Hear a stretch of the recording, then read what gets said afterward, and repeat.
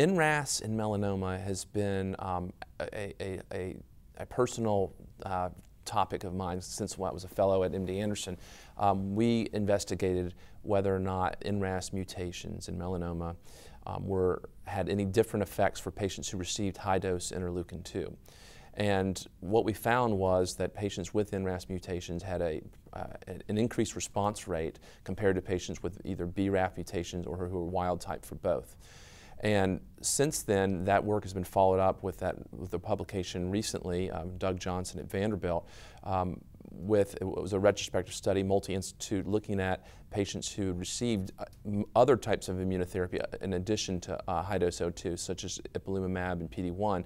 And again, they found that the that NRAS mutant patients were more likely to benefit um, from immunotherapies. Now, I, am very excited about these results. However, we still have to be cautious. They are both retrospective studies, not prospectively looking at patients uh, with NRAS mutations, randomize them to chemo versus immunotherapy. So there's a lot that we could be missing. But I think that it is an interesting um, uh, principle that A, NRAS mutations are certainly uh, have different clinical characteristics in patients with melanoma than BRAF mutations. So we already know they're slight, they behave slightly differently, which is kind of the rationale why we wanted to look at do they res respond differently to immunotherapies.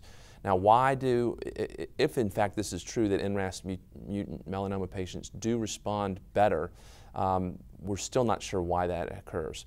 Uh, some people uh, hypothesize that the mutant NRAS molecule is more uh, foreign looking to our immune system and therefore a better target for the immune system to attack.